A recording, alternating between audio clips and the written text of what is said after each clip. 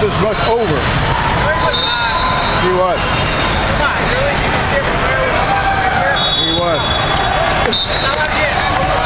He was. He was over.